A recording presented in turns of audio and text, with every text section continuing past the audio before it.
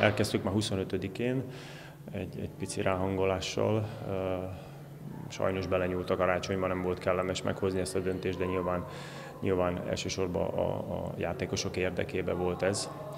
Illetve tegnap és ma, illetve holnap van még egy kis időnk arra, hogy a Ferencváros ellen összerakjuk, ami volt előtte Nyilván azt nem kell magyarázni, hogy egy Ferencváros elleni mérkőzés bármikor és bárhol is legyen, milyen presztis jelent, ezt tudja mindenki nagyon jól, tudjuk nagyon jól. Nyilvánvalóan a, a Japánban eltöltött világbajnokságban elsősorban inkább a mentális, hogy mondjam, emóciók, kinek a csalódottság, kinek a sikerélmény, ami meghatározó, de átbeszéltük, mindenki ide figyel a feladatára és koncentrál.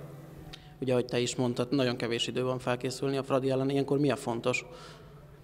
Ilyenkor az a fontos, hogy, hogy, hogy, hogy fejbe rendbe legyünk. Tehát mindenki, mindenki tudja, hogy mi a feladata, próbáljuk meg ugyanúgy ráerőltetni a Ferencvárosra a játékunkat, és nyilvánvalóan fölkészülünk a játékukból, azért nagyon sok újdonság nem lesz meg kell, meg kell nyernünk a párharcokat, nagyon stabilan kell védekeznünk, nyilván kapuba is, de ezt mindenki tudja nagyon jól. Ezeket átismételjük, átismételtük, és, és természetesen úgy megyünk oda a Ferencvároshoz, hogy, hogy tudjuk, hogy mi a célunk, vagyis hogy nyerni szeretnénk. Ez kvázi ugye egy bajnoki döntő is lehet, ilyenkor ezt szem előtt kell tartani?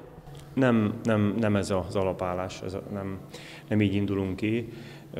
Ha most győzünk, vagy ha nem győzünk, akkor se dőlt el semmi. Egy nagyon fontos mérkőzésnek vesszük, de még egyszer mondom, nem itt dől el a, a bajnoki címnek a sorsa.